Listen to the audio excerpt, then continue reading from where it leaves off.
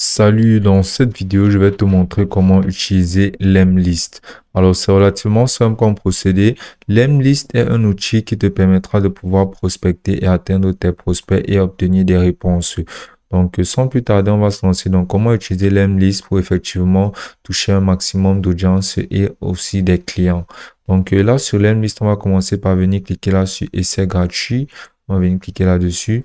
Et grâce à ceci, on pourra directement se lancer dans la création de notre compte Lemlist. Maintenant, on va commencer par remplir les informations de notre compte Lemlist. Et directement, on va cliquer sur créer un compte. Maintenant, on va entrer quelle est la taille de notre entreprise? On va basiquement répondre au questionnaire avec les informations qui nous correspondent. Donc euh, maintenant, on sera redirigé automatiquement vers le tableau de bord de l'Emlist. La première chose à faire sera tout d'abord de créer une nouvelle campagne. On va venir cliquer là sur créer une nouvelle campagne. Et si on pourra se lancer directement dans la création des campagnes de marketing par email. Mais là, on va entrer en arrière. Et ici, on va venir cliquer là sur connecter l'adresse email. Maintenant, on va venir cliquer là sur connecter au niveau de Gmail. Et là, on va venir sélectionner notre adresse email. Ceci fera en sorte de connecter notre adresse email à l'Emlist. Ainsi, on pourra envoyer des mails directement à travers notre adresse email par l'Emlist.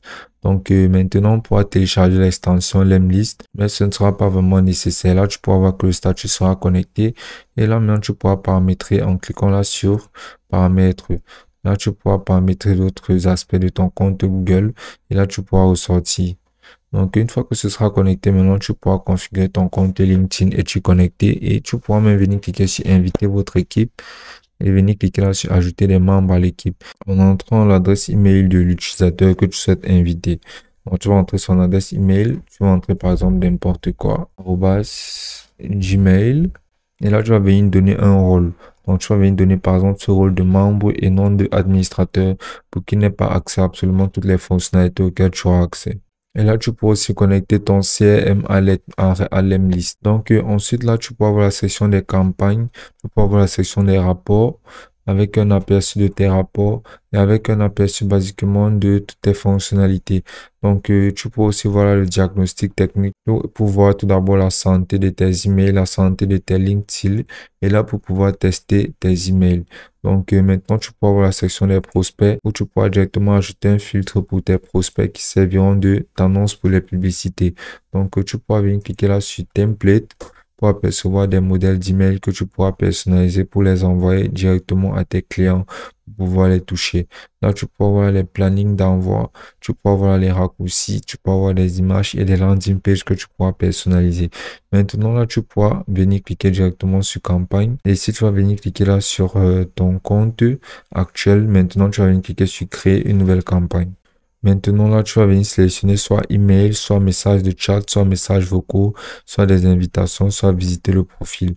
Donc, tu vas venir cliquer là sur envoi email. Et ici, là, tu pourras voir que tu auras ton premier nœud. Donc là, tu auras cette séquence-ci. En cliquant là sur email, tu pourras venir sélectionner un expéditeur. Et là, tu pourras entrer l'objet de ton adresse email. Tu pourras entrer quelque chose comme promotion. Et là, tu vas rédiger le contenu de ton email. Donc là, tu vas l'insérer et ensuite là, tu vas défiler et tu pourras apercevoir des options de modification. Tu pourras venir cliquer là sur ajouter des variables et ça te permettra de pouvoir ajouter des variables telles que les prénoms, le nom, le nom de l'entreprise, des photos, des emails, basiquement tout ce que tu voudrais ajouter comme variable.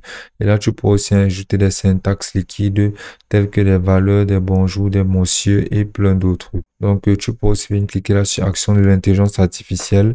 Tu pourras venir cliquer par exemple sur corriger la grammaire pour corriger toutes les fautes d'orthographe de ton texte.